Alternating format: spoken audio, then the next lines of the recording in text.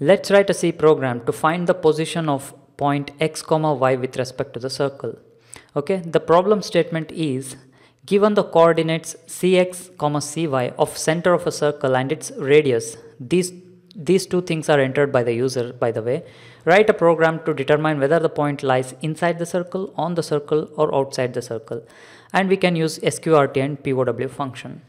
If this is the circle and center point is cx comma cy and this is the radius, okay, we have a point here x comma y. First we need to find the distance between the center and this point using the formula distance is equal to square root of x minus cx whole square plus y minus cy whole square.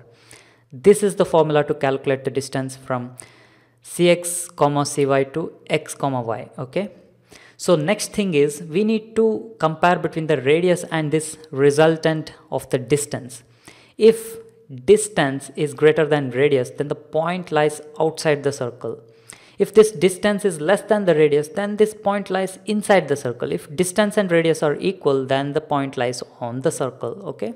So let's write the C program. I'll take the same variables, that is floating point variables, for center cx comma cy, radius, and the, and the point x comma y and the distance. I'll ask the user to enter the center point that is cx comma cy and store it inside the address of floating point variables cx and cy. Okay, now I'll ask the user to enter the radius of the circle and store it inside the address of variable floating point variable radius. Now I'll ask the user to enter the point that is x comma y of which we need to find the position with respect to the circle.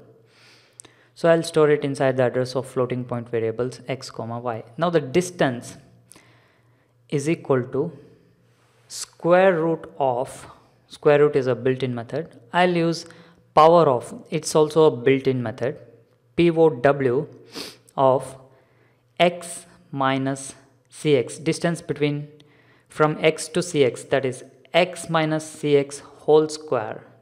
So square need to be the second argument for POW method. Plus POW of the distance from y to cy so that is calculated using uh, y minus cy whole square. Okay this is the formula. So once this is done we compare the distance is if the distance is less than the radius that means the point lies within the radius within the boundary of the circle. So I'll write given point is that is I'll write 0.2 we need only two digits after the floating point number. So point percentage point two f comma percentage point two f is inside the circle so points are x comma y. So I'll copy this. Else if, if this distance is greater than radius, that is, the point is outside the boundary of this circle. So point is outside the circle. Now else, else means if these two conditions are false, then obviously the point lies on the circle. That is radius and distance are equal. So that's it. Let's let's write the library method which has this sqrt and pow methods built-in methods. Let me compile and execute this.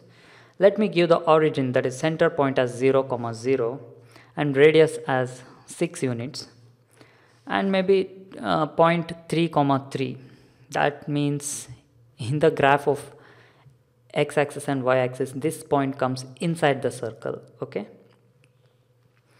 so let me execute once again. I'll give 0, 0 as center once again and 6 as radius. Now 12 comma 8 which means it lies outside the circle okay? So please visit the link present in the description section of this youtube video for source code notes and discussion about this topic. Please stay subscribed to our youtube channel and blog. Share this video with your friends online and please do not forget to like this video on youtube. Thank you